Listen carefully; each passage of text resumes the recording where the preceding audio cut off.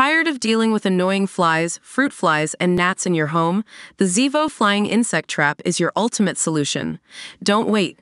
Check out the link in the video description now to get your Zevo Flying Insect Trap on Amazon and enjoy a bug free home today. Get ready for an emotional roller coaster in episode 4 of 90 Day Fiancé, before the 90 Day Season 7, titled Revelations.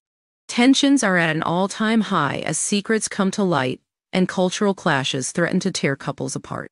This episode, airing on Sunday, September 22 at 8 7C on TLC, dives deep into the lives of our favorite couples as they navigate critical relationship challenges.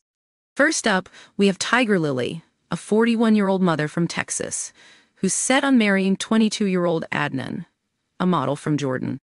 But as she prepares to tie the knot, concerns from her friends about their age difference and possible cultural conflicts loom large. Will fear and doubt derail her plans to marry Adnan, or will true love conquer all? We also meet Brian, a 52 year old wheelchair rugby coach from Illinois, who has a significant secret that could shatter his two year relationship with Ingrid, his Brazilian girlfriend. Can Ingrid accept Brian's past, or will this revelation put their future in jeopardy?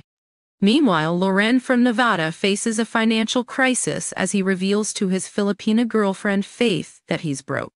This shocking confession, combined with his lack of transparency about his non monogamous lifestyle, adds further strain to their already delicate situation. And then there's Niles and Matilda, who have been dating online for two years.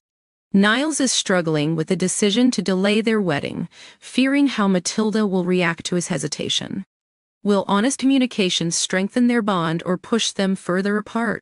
Lastly, Sunny from South Africa worries that his relationship with Florida based Veah is hanging by a thread due to their differing religious beliefs and Veah's continuing connection with her ex.